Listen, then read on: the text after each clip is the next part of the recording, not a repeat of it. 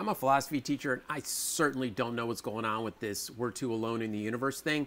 But I do want to throw out three possibilities because there's only three, and I really kind of am stuck with the last one. The first one is there's a government conspiracy to cover up any alien contact we've had, any experience we've had with extraterrestrial life. And I just don't get it. I just don't see it. It'd be so easy to prove just one incidence, one real contact, one real picture of an alien's butt. The government can't even cover up a BJ.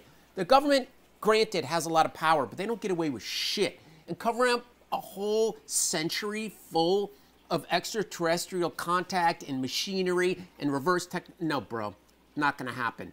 It, it, would have really slipped out, not this bullshit. Oh, I saw a video where a dude had an alien stuck up his ass. No, that's number one. Number two is there's never been contact, but they're out there.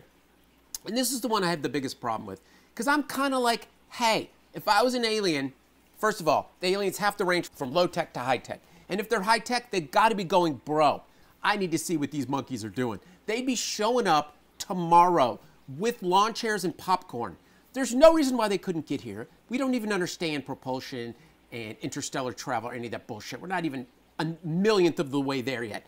Those super high tech cultures would be here like this. They'd be sitting around laughing their asses off. They're not here. Go back to number one. Go back to rule number one. They're not here. It'd be easy to prove. The lawn chair would just be sitting there with the little green dude probably wouldn't be green. So we're left with number three. And the number three option is there's nothing. There's never been, there isn't, and there's not gonna be. And the not gonna be is the most important part because really I'm sitting here going, every day that goes by without green people getting here with popcorn, first of all, they would have already been here. But tomorrow, when they don't arrive again, I'm gonna be even more worried about why we're alone because what that suggests, this is another video, but what that aloneness suggests is that it's more like an experiment than it is like the reality that we see on Earth. Because our reality doesn't work like that.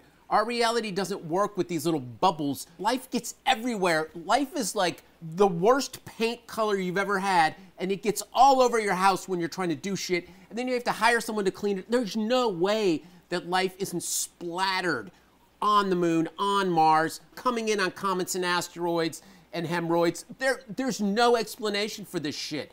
So number three, there's no aliens, leads to the conclusion that we're too alone, and that's what you should be worried about.